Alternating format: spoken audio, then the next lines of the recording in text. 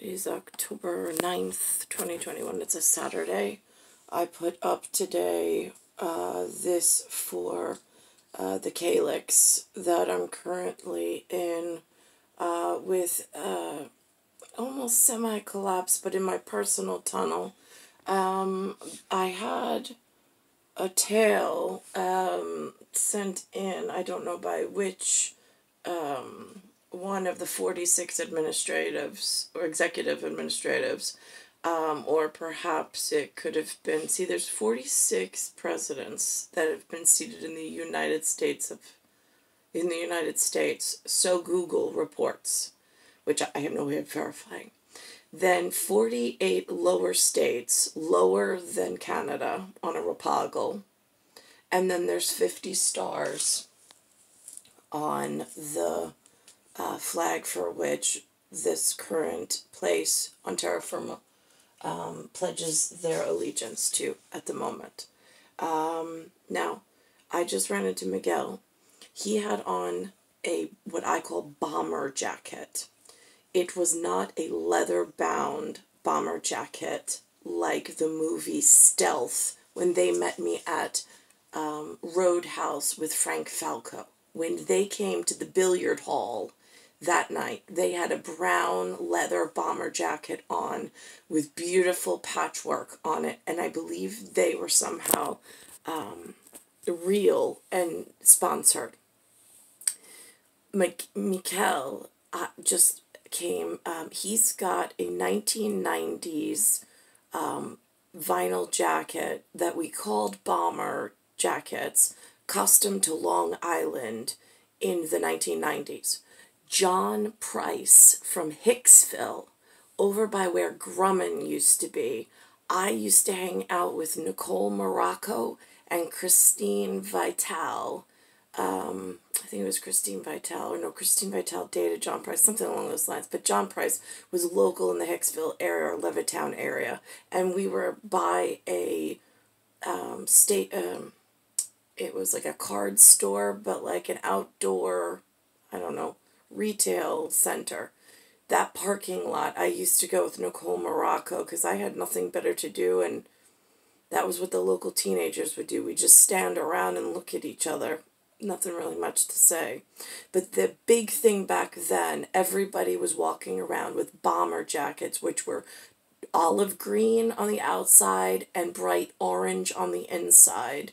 Um, and some of them were navy blue and orange, some were black and orange. But Miguel actually has patches sewn on his um, from wherever he was involved with Navy and with the SEALs and decorated. Um, so I just ran into him and I asked him to explain it. Apparently, his squadron, he said, was in Kuwait. He wasn't there, but he got the patch from his people about the Kuwait whatever.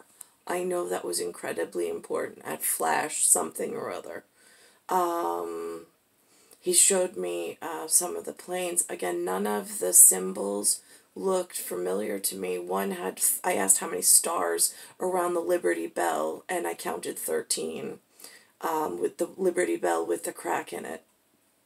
Um, but again, I know that one Kuwait was really important that he has the patch. He's got a green bomber jacket, and bomber jacket, I say, from Long Island, 1990s. So century 19, decade 9, somewhere between year 1 and year 5 or 6.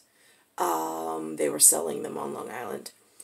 Um, and that was a big South Shore purchase.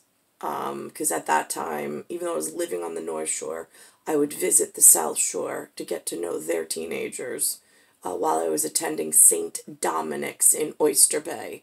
We all went to school together.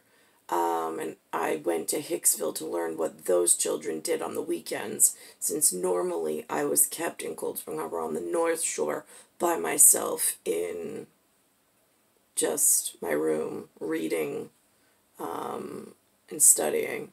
So um, I went to go see what they did on the weekend, which was mostly just walk around and try to find one another because there was no cell phones and there was no anything. So to find a meeting spot, like they had a meeting spot to go to whenever you needed something before cell phones and beepers.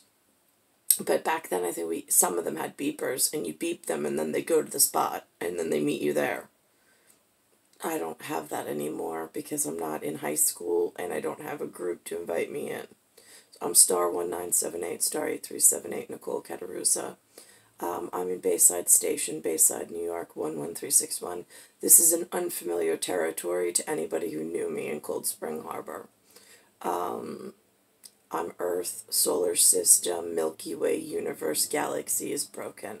This is the place I left to go to Cold Spring Harbor and Lloyd Harbor to grow up in that niche, we'll call it N I C H E, privately and then this is where we came back around Clinton when my father lost the business because he got sued by someone for something which I never really understood.